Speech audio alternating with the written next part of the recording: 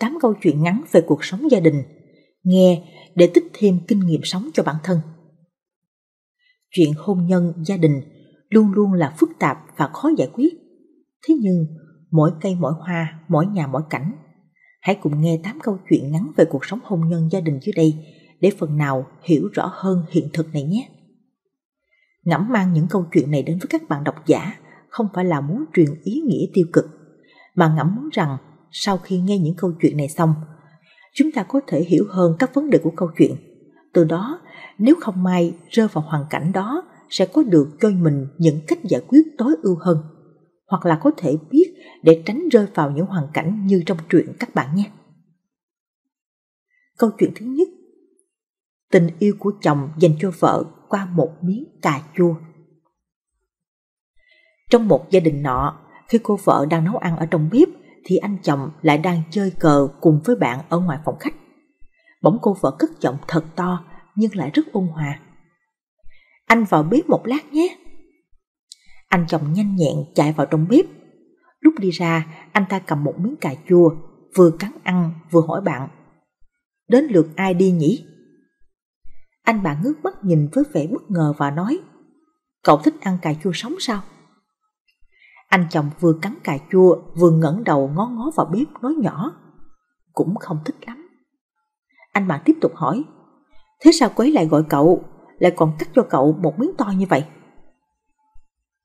Anh chồng nói, Lúc vừa mới kết hôn, Nhà thì nghèo, Mình lại thèm ăn, Nên mỗi lần xào cà chua, Cô ấy đều cắt một miếng rồi đưa vào miệng mình.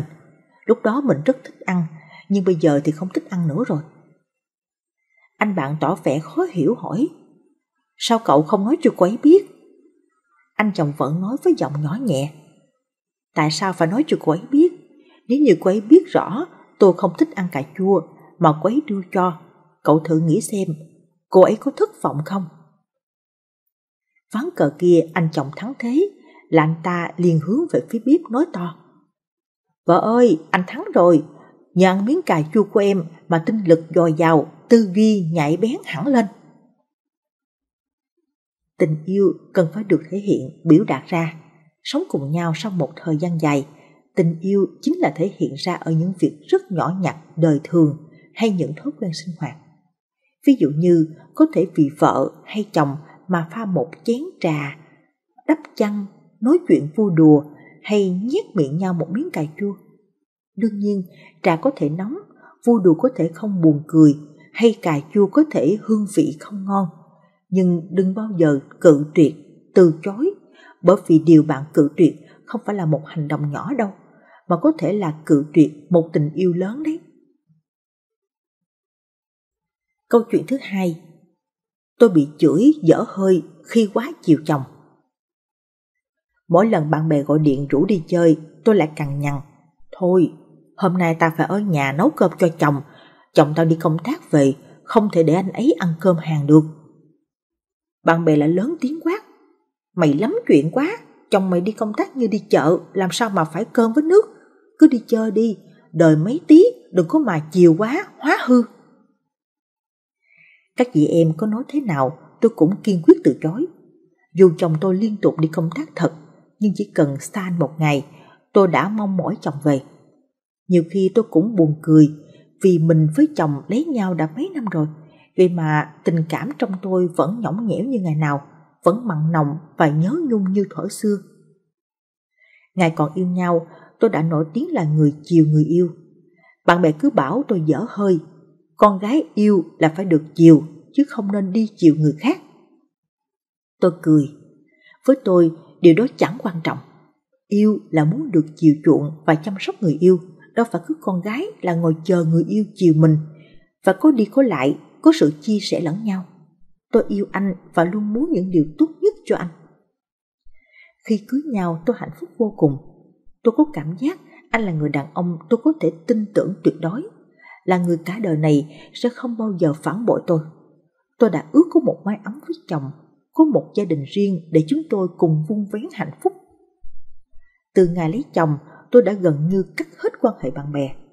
Thật ra tôi muốn toàn tâm toàn ý vì chồng, và lại có hai vợ chồng ở một nhà, tôi lúc nào cũng phải túc trực nấu nướng đợi chồng về ăn cơm. Tôi không thể vui vẻ một mình mà quên chồng. Bạn bè thường bảo tôi dở hơi vì quá chiều chồng. Tôi lại nghĩ, chiều chồng là chuyện tốt, có chiều chồng thì chồng mới yêu mới thương mình. Với lại, làm phụ nữ, điều quan trọng nhất là nữ công gia chánh. Chồng đi làm cả ngày về nhà, không thấy cơm nước, không có món ngon để ăn, không có vợ chuẩn bị chu đáo mọi việc, làm sao mà chồng vui được. Hàng ngày tôi cũng đi làm, sau giờ làm tôi lại về nhà chuẩn bị những món ăn chồng thích. Ngày nào tôi cũng nhớ gọi hỏi chồng xem hôm nay anh thích ăn gì. Tôi sẽ làm những món anh thích, làm vừa lòng chồng. Có vẻ chồng tôi khá hài lòng về tài nấu ăn của vợ. Chỗ nào còn thiếu sót, tôi nghe chồng góp ý và hoàn thiện mình. Bản thân tôi luôn nỗ lực tự học hỏi nấu các món ngon lạ để làm chồng vui. Người ta nói tình yêu của người đàn ông phải đi qua cái dạ dày. Thế nên là một người vợ muốn được chồng yêu tôi phải nỗ lực hết mình phải làm sao để chồng luôn tự hào về vợ. Người ta bảo tôi quá chiều chồng, lúc nào cũng nhắc đến chồng, đi đâu làm gì cũng không quên dành phần cho chồng. Tôi cười vì bản thân tôi nghĩ chiều chồng là điều tốt, có chi đâu. Đàn ông cũng sẽ chiều phụ nữ khi họ cảm nhận được tình yêu thương của người vợ dành cho mình. Không thể cứ ngồi chờ họ chiều mình. Trong cuộc sống, nếu đối phương chưa biết cách làm vừa lòng mình, mình hãy chủ động để người bạn đời nhận ra mình đang nỗ lực vì gia đình, đang cố gắng vun đắp tình yêu. Một lần nói lời yêu với chồng, chồng ắt sẽ học và nói theo. Một lần mua đồ cho chồng, chồng ắt cũng sẽ chiều vợ theo cách đó. Không nói không làm thì không ai biết. Phải hành động, người khác mới nhận ra tấm chân tình của mình. Thế nên, mọi việc trong nhà tôi đều làm từ A đến Z. Chỉ cần là những nơi chồng thích, tôi không bao giờ từ chối đi cùng. Nhiều khi thấy anh đi làm về mệt, tôi lại chủ động pha nước cam cho anh uống. Nói ra các chị bảo là tôi làm hư chồng. Cứ để anh tự túc, tự làm, thích uống gì thì tự đi mà pha. Sáng ra tôi cũng dậy nấu đồ ăn sáng cho chồng. Nhiều người nghĩ phải để cho đàn ông chủ động, nhưng tôi lại cho rằng việc nội trợ chị em nên làm. Đàn ông dù có làm cũng không khiến chị em hài lòng được. Chiều chồng một chút, có sao đâu. Ai bảo tôi dở hơi cũng được, tôi chỉ muốn chồng tôi hiểu. Tình yêu tôi dành cho anh rất nhiều, tôi muốn chứng minh tấm lòng của mình với anh. Nếu anh cảm nhận được vợ hết lòng vì mình, tôi tin anh cũng sẽ mãi chung tình với tôi. Vợ chồng có đôi chỉ cần nương tựa vào nhau, cùng nhau cố gắng thì chẳng gì có thể chia rẽ được. Câu chuyện thứ ba Vợ chồng suýt ly hôn vì ngôn tình Nàng thích đọc truyện ngôn tình Từ cái thời chưa lấy chồng cơ Giờ đây đã là mẹ của cậu nhóc 2 tuổi rồi nhưng nàng vẫn còn nguyên cái sở thích ấy Không hề nhạt phai Giá sách nhà nàng có hẳn một góc kha khá dành cho các tiểu thuyết ngôn tình nàng yêu thích. Điện thoại, máy tính của nàng lúc nào cũng chật ních các ebook truyện ngôn tình. Nàng còn dành hàng giờ lang thang trên các diễn đàn bàn luận rơm rã cùng những người chung sở thích. Đã nói đến ngôn tình thì không thể không kể đến sự hấp dẫn đặc biệt đến chết người của các nam nhân vật chính. Ôi trời, họ mới hoàn hảo trên cả hoàn hảo làm sao? đẹp trai ngời ngời, giàu có hết biết, dịu dàng và mạnh mẽ, nhẹ nhàng mà cứng rắn, mềm yếu mà bá đạo. Và tất nhiên, tình cảm dành cho người yêu, vợ thì không có từ nào có thể diễn tả hết được sự lãng mạn, yêu chiều, cưng nựng. Có lẽ vì quá mong mỏi mình cũng sở hữu được một anh chàng như vậy, mà nàng dần dần nảy sinh tâm lý so sánh họ với người yêu, giờ đã là chồng mình. Cái hồi yêu nhau ấy, chồng nàng biết nàng đắm chìm không thể cứu vãn trong ngôn tình, nên cũng rất có tinh thần học hỏi các anh chàng nam chính trong ấy, làm ra khá nhiều pha lãng mạn, khiến nàng vui vẻ, gửi tới nàng không ít các lời lẽ ngọt hơn đường, khiến cho nàng ngây ngất. Nhưng cưới về rồi, nàng mới nhận ra một sự thật phủ phàng. Thì ra chàng chỉ là cố làm mạo để nàng vui, để đạt được mục đích là cưới nàng về. Bảo sao mà cưới xong một cái, chàng liền lắc mình, biến thành một con người khác hẳn. hay nói đúng hơn là trở về đúng với con người thật của mình. Tuy đã đau đớn xác định chấp nhận sống chung với lũ, nhưng trong lòng nàng vẫn luôn chất chứa một nỗi thất vọng âm ỉ. Nàng cũng chưa khi nào không thôi ước mong chồng mình cũng được như các nam nhân vật trong đám tiểu thuyết nàng yêu thích. Chứ ai đời chàng lại khô khan, không có nổi một lời dịu dàng, vô tâm chả bao giờ tặng nàng bông hoa héo nào. Đã thế còn vụng về và hậu đậu vô đối. Chả được vừa giỏi việc công ty vừa nấu ăn ngon như các sói ca của nàng gì cả. Chán không để đâu cho hết. Biết tâm tình của vợ, đã vô số lần chàng nói với vợ rằng Em phải biết phân biệt đâu là tiểu thuyết, đâu là đời thật chứ. Những cái em đọc ấy đó chỉ là sản phẩm của trí tưởng tượng thôi. Anh đố em tìm đâu ra người thật như thế đấy. Mặc dù không cam tâm với những lời nói của chồng, nhưng rõ ràng nàng cũng khó lòng mà tìm ra xung quanh mình có anh chàng nào được như tiểu thuyết. Vì thế, nàng đành ngậm tâm nuốt cục ấm ức xuống bụng. Nhưng mới đây thôi, thiên hạ khắp nơi đang rầm rộ bàn tán, ngưỡng mộ không để đâu chưa hết một câu chuyện ngôn tình, một đám cưới cổ tích và một nhân chứng sống chứng minh cho nhận định ngôn tình là có thật. Nàng cũng bấn loạn vì anh chàng Huỳnh Hiểu Minh như bước ra từ những trang truyện ấy. Nàng gọi ngay chồng tới xem Chàng đọc về sự yêu chiều của anh ta dành cho bạn gái xong mà họ yêu nhau những 6 năm đấy, ít ỏi gì đâu, để nói đó chỉ là sự đam mê nhất thời. Chàng rút ra nhận định mình không bằng được anh ta. Thấy chồng im ỉm không phản bác gì, nàng cho rằng chồng tâm phục khẩu phục rồi. Từ giờ thì hết nói là nàng mơ mộng hảo huyền nữa nhé. Theo dòng sự kiện đưa tin trên các báo về cặp đôi ấy, sự tuổi thân trong lòng nàng cũng ngày một dâng cao.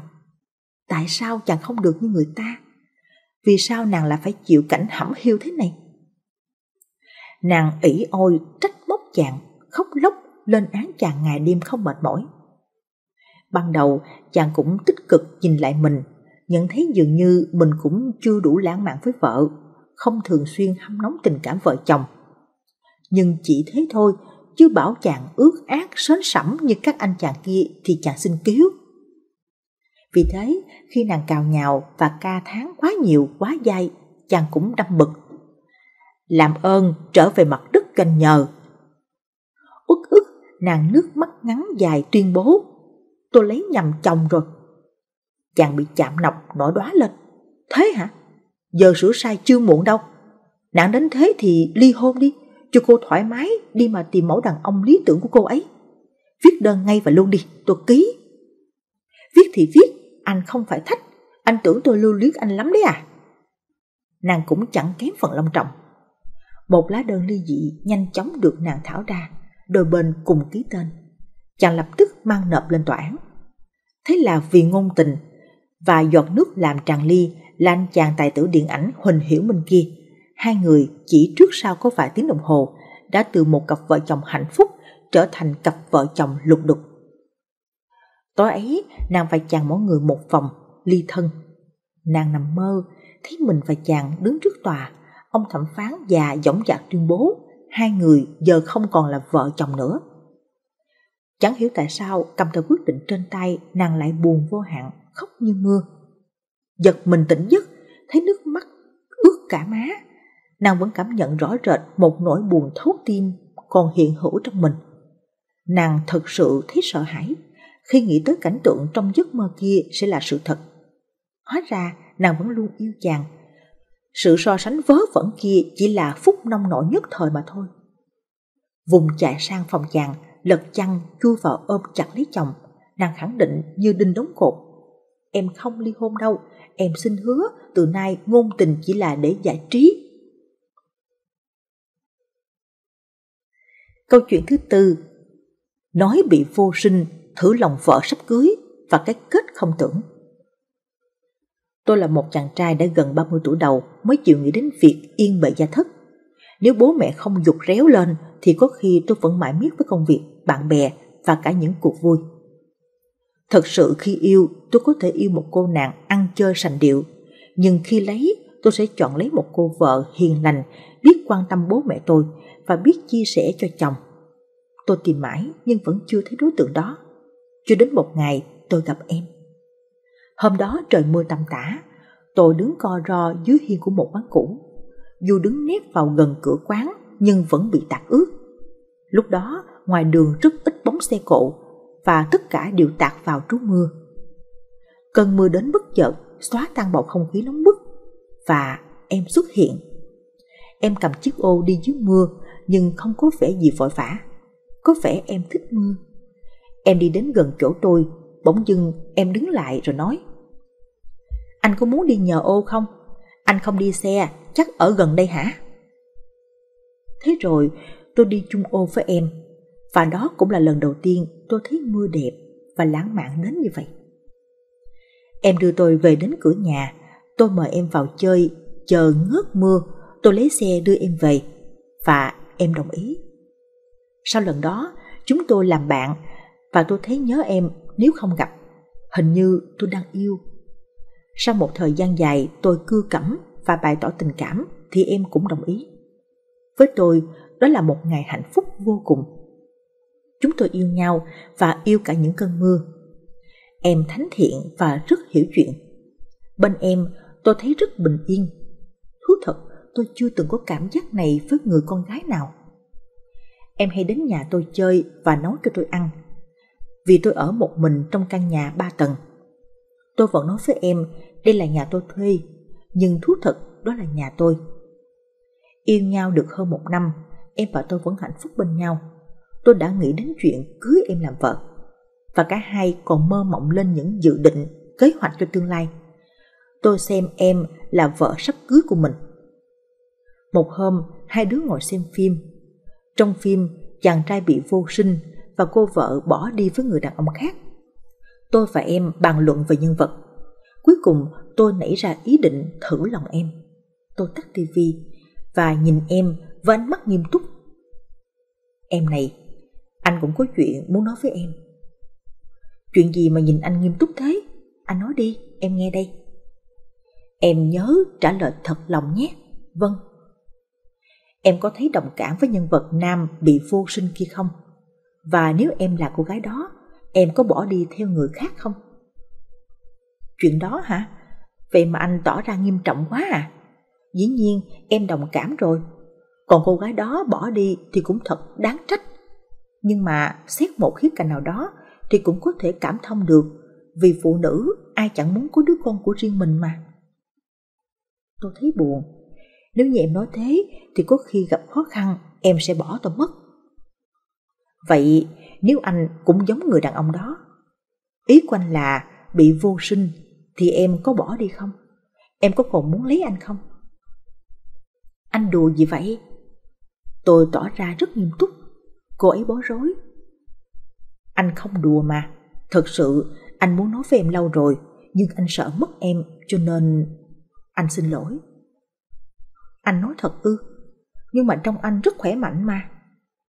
Anh cũng nghĩ như vậy nên đã rất sốc khi bác sĩ nói về điều đó. Vì ngày trước anh bị thủy đậu nặng quá nên mới đến nông nổi như thế này. Mặt tôi có ít vết sẹo do mụn để lại nên chắc em sẽ tin. Bỗng dưng cô ấy sửng sốt đứng phắt dậy nhìn tôi với đôi mắt ngấn nước đỏ ngầu. Sao anh lại giấu em hả? Cô ấy hét lên. Lúc này thú thật tôi rất hụt hẫng, nghĩ rằng cô ấy chắc là cũng sẽ bỏ rơi tôi nếu chuyện đó là thật. Bỗng dưng tôi muốn cười nhếch mép vì đã rõ câu trả lời. Em có thể ra đi nếu em muốn, anh xin lỗi. Tôi định bỏ ra ngoài, thì bỗng cô ấy ôm lấy tôi rồi khóc. Anh định đi đâu hả? Em còn chưa đi thì anh định đi đâu? Em ở lại đây thì anh phải ở lại cùng em chứ. Ý của em là không sinh được con thì mình có thể nhận con nuôi và tìm cách chữa trị mà. Thời gian qua anh đau khổ lắm phải không? Em xin lỗi, sao anh lại giấu em lâu như vậy? Phải nói ra để em chia sẻ với anh chứ. Lúc đó đầu óc tôi quay cuồng. Trời đất, cái gì thế này? Cô ấy sẽ chấp nhận lấy tôi dù tôi có bị vô sinh sao? Tôi ôm chặt lấy cô ấy vào lòng và nói cảm ơn em. Mấy ngày sau, tình yêu của chúng tôi vẫn diễn ra bình thường như chưa có chuyện gì. Cô ấy còn lên mạng tìm hiểu cách chữa trị rồi còn mua mấy món ăn bổ dưỡng cho tôi nữa. Cô ấy còn an ủi tôi này nọ, dù tôi biết lòng cô ấy cũng rất buồn. Thật sự tôi rất hạnh phúc, giờ thì tôi có thể cầu hôn cô ấy và nói cho cô ấy biết mọi việc. Không ngờ trong phút chốc nghĩ ra chiêu thử lòng người yêu với lý do có vẻ điên này, tôi lại càng khẳng định được mình đã chọn đúng người phụ nữ cho cuộc đời.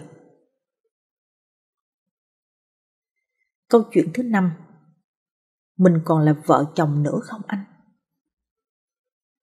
Ngày ngày hai vợ chồng dậy sớm, đánh răng rửa mặt, việc ai người nấy làm. Chị thì lo cho con chuẩn bị đồ đạc đến trường, chuẩn bị cho con ăn, rồi lại vội vàng đèo con đến lớp. Anh thì dậy muộn hơn, cũng đi làm muộn hơn chị, nên thông dong mãi mới dắt xe ra. Từ lâu lắm rồi, chị không có thời gian chuẩn bị bữa sáng cho cả gia đình. Chị dành cho con cái cả. Còn anh, anh cũng không cần những bữa sáng lít kích nữa, chỉ ra ngoài làm bắt phở là xong. Cuối tuần, chỉ muốn nấu nướng thì lại mệt quá. Nghỉ cả tuần mới có một ngày nghỉ, bài vẽ chỉ làm mình mệt thêm. Nghỉ ngơi lấy sức là hơn cả. Thế là bao nhiêu ngày chị chưa chuẩn bị được bữa cơm gia đình nào cho ra trò. Về phần anh, sáng đi làm tối về, có những ngày anh không về ăn cơm vì đi liên hoan tụ tập bạn bè. Chị và con đỡ chán thì lại ăn với nhau. Nhiều lần như thế, chị đâm chán, không muốn nấu cơm nữa. Vì có nấu cũng chẳng ăn cùng bao nhiêu. Mệt người, chị cứ ăn qua loa cho xong chuyện. Anh về tới nhà thì đã khuya, hai mẹ con chị đã ôm nhau ngủ. Lắm lúc anh muốn động vào người vợ, chị lại đẩy ra vì chị mệt. Ngủ rồi còn thiết tha gì? Cứ như thế, bao nhiêu lần anh muốn gần chị là bấy nhiêu lần chị chán nản, khó chịu, chẳng còn cảm giác vợ chồng như xưa nữa. Con cái đã chiếm hết thời gian buổi tối của chị. Ban ngày, công việc lại không cho chị rảnh rang. Cứ nghĩ thế là mệt, chẳng thiết tha gì. Anh thì đi tối ngày, chỉ bận kiếm tiền và các mối quan hệ. Nhiều hôm bát đũa vứt bừa không có thời gian mà dọn rửa. Những ngày kỷ niệm anh quên hết. Anh không nhớ hoặc là có nhớ cũng không có điều kiện mà làm. Ngày trước khi yêu nhau, anh còn hay tặng hoa chị. Từ ngày lấy nhau và nhất là khi có con, chị chưa nhìn thấy một bông hoa nào từ tay chồng, bất kể các ngày lễ Tết.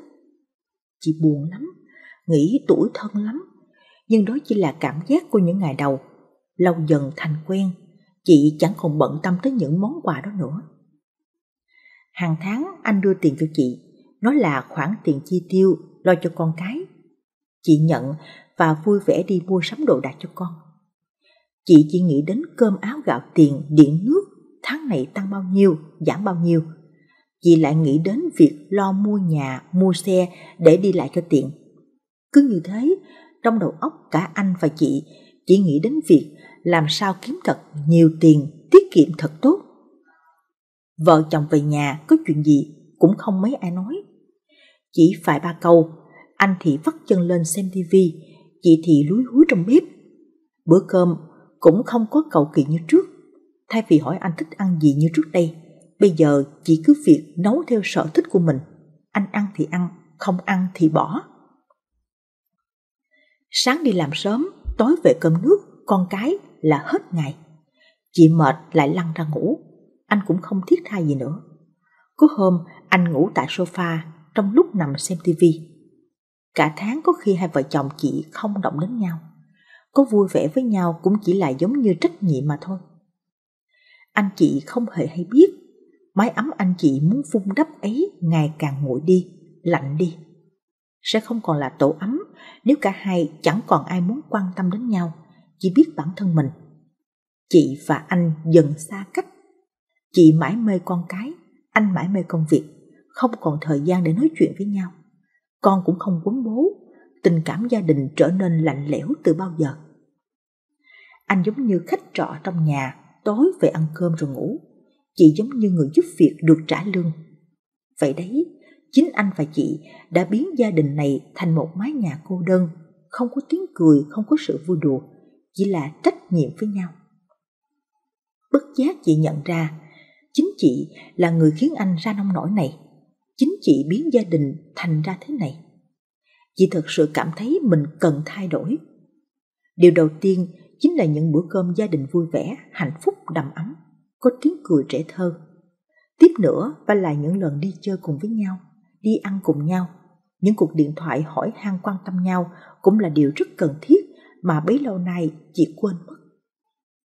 Chẳng biết mấy năm rồi chị không nhận được lời ngọt ngào từ anh. Không biết bao lâu rồi anh không nói yêu chị. Chăn gối vợ chồng cũng trở nên lạnh lẽo vô cùng. Có phải gánh nặng cơm áo gạo tiền đã cuốn chúng ta vào vòng xoáy cuộc đời chỉ biết đến kiếm tiền mà không quan tâm đến nhau? Chị từng nói với anh, mình còn là vợ chồng nữa không anh? Trong câu nói của chị đầy ẩn ý, ánh mắt chị ngấn lệ, còn anh cười hiền từ, nhìn vợ âu yếm, nắm lấy tay chị. Được rồi, từ nay sẽ khác, cả anh và em, em nhé. Chị biết người thay đổi không phải chỉ mình chị, chị cần có anh bên cạnh, cần anh là động lực, là nguồn tin để chị vun đắp lại hạnh phúc mà chị suýt đánh mất. Câu chuyện thứ sáu Đắng chát cho người chồng hết lòng yêu chiều vợ anh là một người đàn ông giỏi giang trong chuyện kiếm tiền, mẫu mực trong vai trò làm chồng làm cha, khiến bao người ghen tị với cô, người vợ danh chính ngôn thuận của anh. Anh luôn yêu chiều vợ như một bà hoàng, nói thế cũng chẳng ngoài chút nào. Việc nhà cửa, cơm nước cô chẳng quan tâm vì đã có người giúp việc con gái 6 tuổi cũng giao cho người giúp việc đưa đón, tắm rửa và cho bé ăn. Ngoài thời gian làm 8 tiếng hành chính khá nhàn trên công ty, thì cô dành rất nhiều thời gian để đi làm đẹp, mua sắm, chơi bời tụ tập với bạn bè. Anh cũng chẳng hề thấy phiền lòng về điều đó. Thậm chí anh còn động viên cô, có buồn thì cứ đi du lịch đâu đó với bạn bè cho khuây khỏa.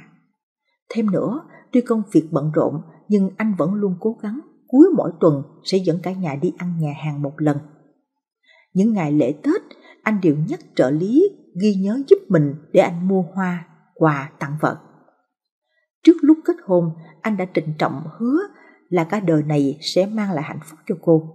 Và anh tự nhủ phải luôn cố gắng để làm được điều đó. Anh cũng nói là cô sướng, cô không phủ nhận điều đó. Nhưng tại sao cô vẫn thấy cuộc sống như thế này hơi nhạt nhẽo và nhàm chán? Chính ra cái thời mới cưới nhau vẫn còn khó khăn, cô lại không thấy những cảm giác này xuất hiện.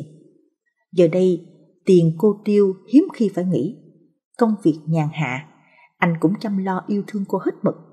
Thì cô lại thấy cứ thiếu thiếu điều gì đó. Cô mua sắm lắm cũng chán, đi du lịch nhiều cũng nhàm, tụ tập bạn bè hoài cũng hết hứng. Chẳng còn gì thú vị cả. Nếu nói anh bận rộn quá, không có thời gian dành cho vợ con thì cũng không phải. Anh luôn cố gắng sắp xếp thời gian lưu tâm được cái gì là anh cố cái đó đấy thôi. Giữa cái lúc cô đang chơi vơi trong cảm xúc của mình ấy thì hắn ta xuất hiện. Hắn trẻ hơn cô 5 tuổi, đẹp trai, nói chuyện có duyên, đặc biệt cuốn hút ở đôi mắt sâu thẳm. Hắn xuất hiện, cô dường như thấy cuộc sống của mình nhộn nhịp, sôi động và rực rỡ sắc màu hẳn lên, chứ không nhạt thết như trước. Cô đắm mình trong đó, mê mãi không tìm thấy lối ra. Một ngày, trong buổi sáng rảnh rỗi vì cuộc họp bị hoãn bất ngờ, anh ngồi suy tư và chợt nhận ra dạo này hình như vợ mình có rất nhiều điều đổi khác.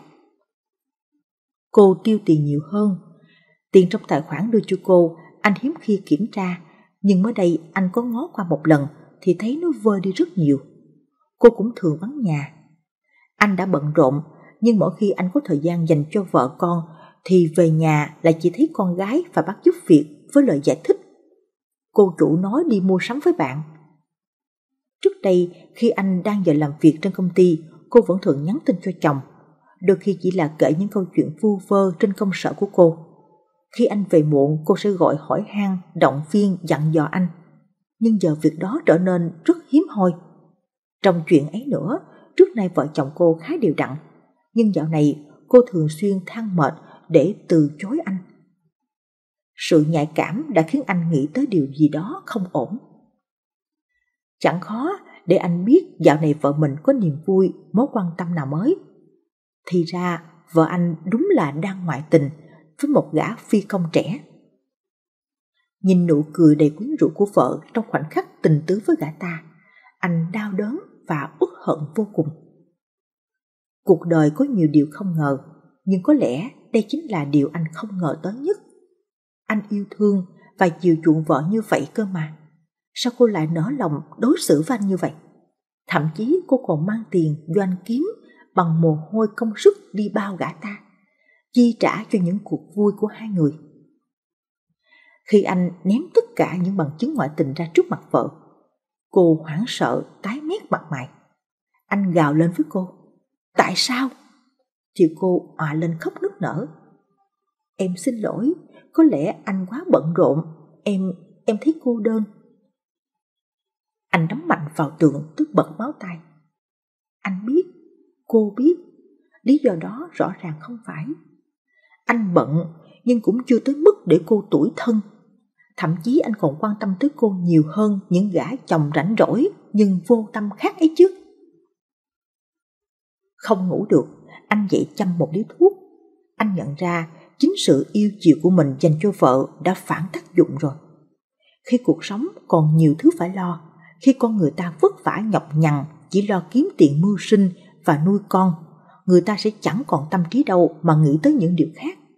Nhưng khi người ta có tiền trong tay, thời gian thừa thải, mọi thứ quá yên bình và suôn sẻ, người ta lại muốn có một thứ gì đó kích thích để tạo cảm giác mạnh cho cuộc sống. Nhất là khi cô và anh đã qua 7 năm hôn nhân. Có lẽ cô lại muốn sống lại cái thời yêu đương say đắm nồng nàn xưa với một gã đàn ông khác. Nhìn nước mắt rơi như mưa trên khuôn mặt xinh xắn của vợ, lại nhìn con gái thơ ngây đang say ngủ. Cảm giác chua xót, đắng chát, dâng đầy trong lòng, khiến một người luôn quyết đoán như anh cũng không biết phải bước tiếp thế nào.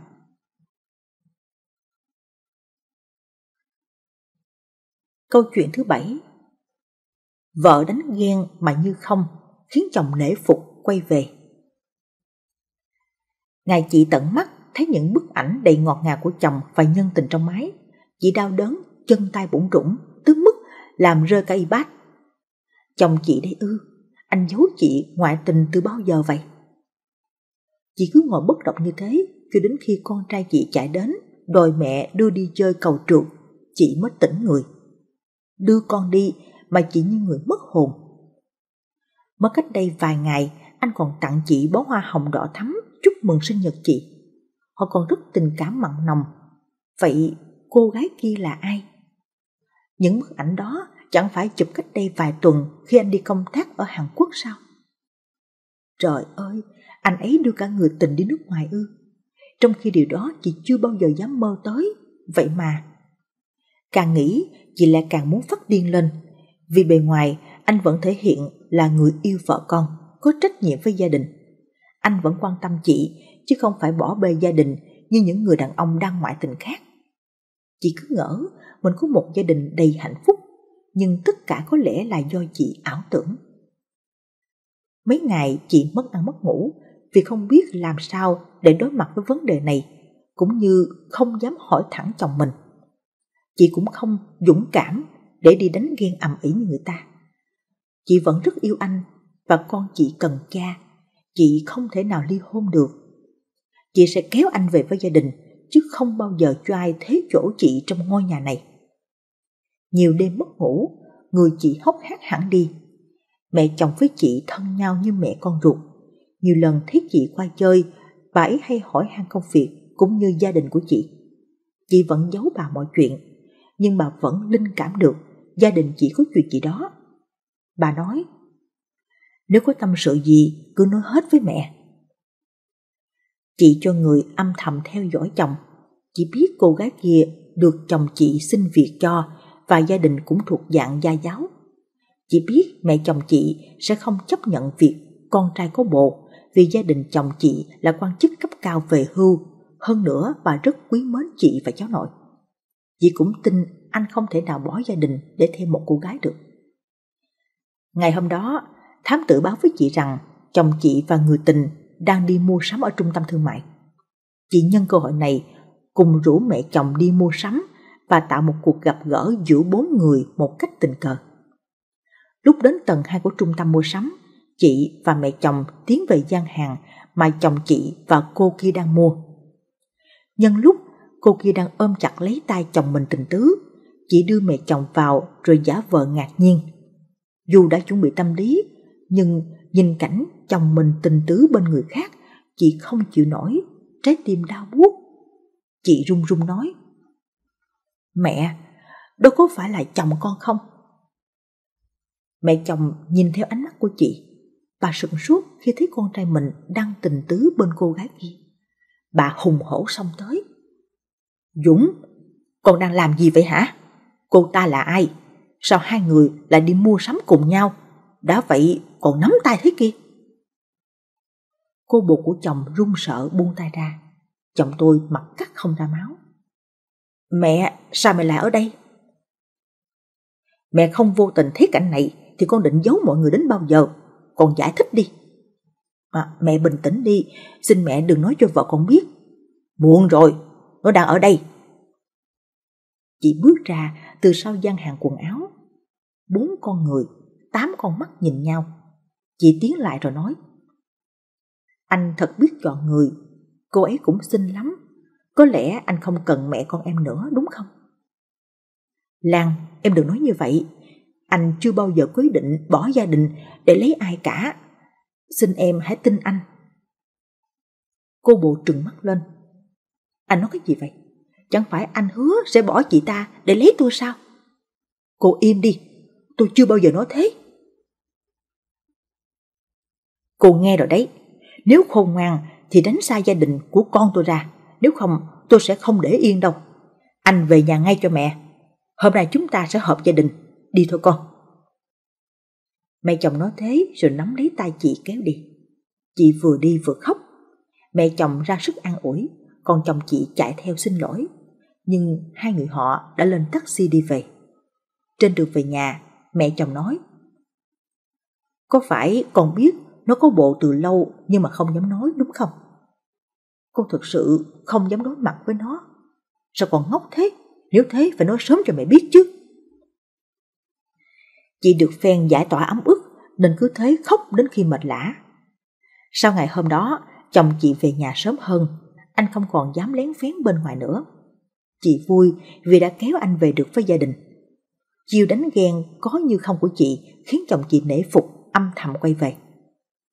Chị cũng giận dỗi một thời gian, nhưng rồi chị nói sẽ tha thứ cho anh và không nhắc lại chuyện cũ, miễn là anh thay đổi.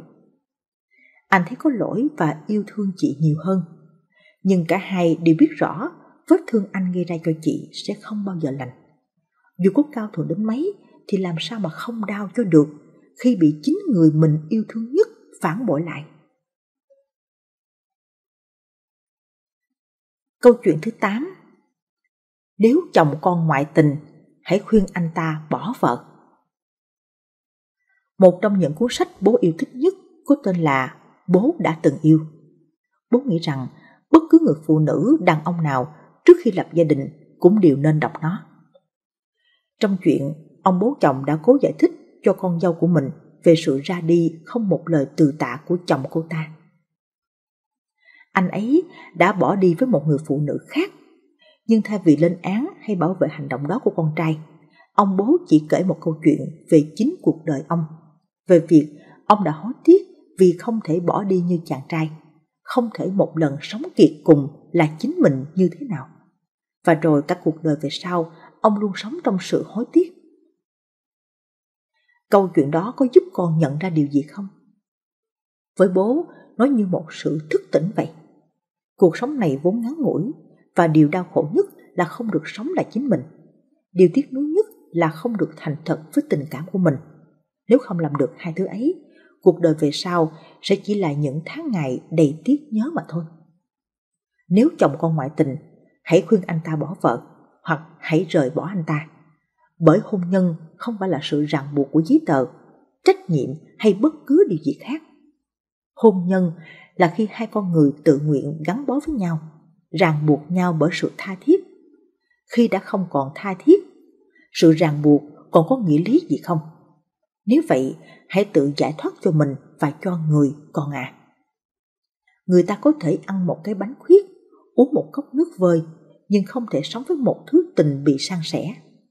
Tình yêu không hữu hình đến thế, nhưng nó lại yêu cầu sự tròn đầy viên mãn.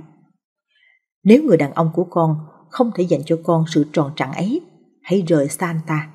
Hãy để cho người phụ nữ khác được hưởng hạnh phúc mà con đã từng được hưởng. Và con cũng xứng đáng với một hạnh phúc khác đầy đặn hơn. Hãy nhớ, không cô gái nào đáng bị săn sẻ trong tình yêu. Đàn ông vốn tham lam, đôi khi tham lam đến hèn mọn. Anh ta vừa muốn có được những cuộc phiêu lưu tình ái với những cô nàng đậm tính, vừa muốn có một chốn yên ấm để quay về với người phụ nữ luôn nhẫn nhịn đợi chờ. Bởi thế mà anh ta phải vụng trộm, giấu giếm rồi lanh quanh dối trá. Đừng biến chồng mình thành một kẻ hèn mọn. Hãy để anh ta được lựa chọn và khuyến khích anh ta dám sống thật với những tình cảm, cảm xúc của riêng mình. Cho dù điều đó có khiến con phải chịu đau khổ. Nhưng đau khổ nào rồi cũng sẽ qua. Hãy để nó kết thúc và rồi đi, còn hơn cứ mãi tù động và xa lầy. Nếu người đàn ông con yêu là một anh chàng thẳng thắn và trung thực, hãy khích lệ anh ấy giữ mãi hình ảnh đó đến tận phút sau cuối, ngay cả khi đã chia tay. Đừng cố sống và thỏa hiệp với kẻ bội phản để rồi làm tha hóa cả mình lẫn người. Cũng đừng cố tự làm mình mờ mắt, ù tai chỉ để không nhìn, không nghe những điều không muốn. Người ta đã nêu gương những người phụ nữ bao dung và vị tha. Nhưng con ơi, tha thứ chưa bao giờ là điều dễ dàng. Nếu ta không thể tha thứ, không phải vì ta quá hẹp hòi, chỉ vì ta quá nhạy cảm và sự tổn thương trong ta quá sâu sắc. Đến nỗi chỉ vì một hình dung ấy thôi cũng khiến ta đau đáo, xót xa quặn thắt.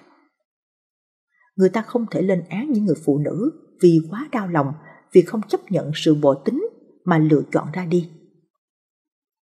Có người nói rằng hôn nhân không chỉ có tình yêu, nhưng đó phải chăng là ngụy biện? Tại sao ta phải bắt đầu cuộc hôn nhân bằng tình yêu để rồi sau đó lại chấp nhận sống tiếp mà không có nó? Không có tình yêu, hôn nhân chỉ là tình đồng chí, chỉ là sự vun vén cho một cái chung vô vị. Còn cái ư, đừng lấy chúng ra làm sự ràng buộc. Con cái chúng ta vẫn có thể lớn khôn, được yêu thương đầy đủ và được giáo dục tốt. Chúng không mất đi bố hay mẹ chỉ vì họ không sống cùng với nhau nữa. Vì thế, nếu chia tay, con hãy chia tay trong hòa bình và vui vẻ. Người phụ nữ mất gia đình cũng giống như một kẻ chơi bạc đặt cược tất cả vào một ván bài và thua trắng tay vậy. Ta không chỉ mất đi một người chồng, một ngôi nhà, mà là mất đi một người ta hết lòng yêu thương, một mái ấm. Mất đi niềm tin và bao kỳ vọng. Lòng ta không chỉ đau buồn, mà nó còn xác sơ hoang tàn nữa. Nhưng thà tay trắng để bắt đầu lại, còn hơn cứ mãi ôm lấy những điều đã không còn trọn vẹn. Cứ mãi níu giữ người đã khiến ta phải hoài nghi.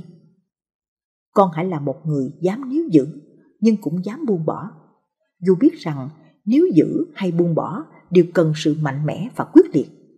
Song bố tin con gái bố là một người như thế. Sau tất cả, bố chỉ mong con được hạnh phúc, bất luận con có lựa chọn như thế nào đi chăng nữa. Bố của con